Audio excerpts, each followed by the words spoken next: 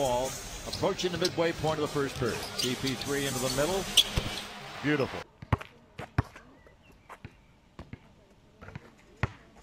Everything all of a sudden now. Just Paul for three. Bang.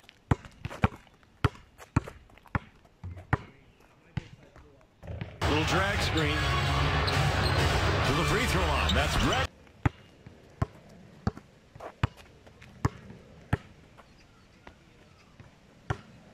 by Jordan. Jordan comes in the number two rebounder in the NBA. This is Chris Paul at the other.